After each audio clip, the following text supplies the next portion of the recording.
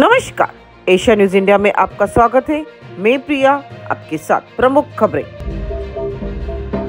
UP में महाराजगंज में अधेड़ की ईट से कुचलकर निर्मम हत्या। जाँच में जुटी पुलिस।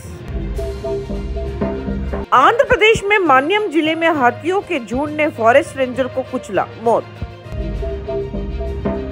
भूकंप से तुर्की, सीरिया में भीषण तबाही। अब तक 4000 से ज़्यादा लोगों की मौत। बढ़ सकता है आंकड़ा। ऑस्ट्रेलिया के स्टार प्लेयर एरोन फिंच ने अंतरराष्ट्रीय क्रिकेट से लिया संन्यास।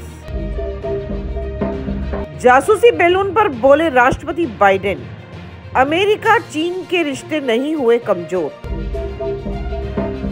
दिल्ली के चिड़ियाघर की सबसे उम्रदराज सफ़ेद बागिन का हुआ निधन। दिल्ली में आज बीजेपी संसदीय दल की बैठक।